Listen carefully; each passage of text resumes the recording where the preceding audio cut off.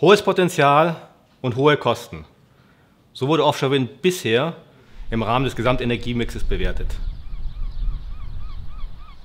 Doch die Anlagen auf See holen auf. Die werden schneller wettbewerbsfähig, als die meisten Experten es vorausgesagt haben. Offshore Wind spielt eine ganz wichtige und wird auch eine zunehmend wichtige Rolle spielen. Denn es ist die einzige in erneuerbaren Energieform, die auch stetig produzieren kann durch die starken und kontinuierlichen Winde auf hoher See. Das sieht auch die Bundesregierung so, denn sie plant das Fünffache der Produktion von Offshore-Windenergie im Jahr 2030 im Vergleich zu heute. Auch international ist Offshore-Wind ein großes Thema in ganz Europa, in USA, in China und vielen weiteren anderen Ländern. Allerdings ist heute noch ein Kostenproblem zu besichtigen.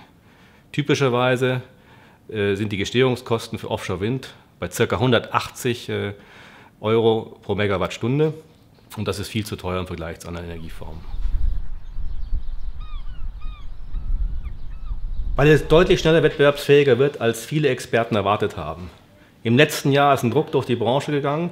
Zum ersten Mal wurden Offshore-Wind Stromkosten von weniger als 100 Euro pro Megawattstunde erreicht.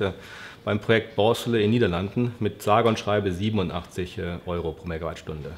Seitdem sind sogar weitere Projekte noch zu tieferen Preisen angeboten worden.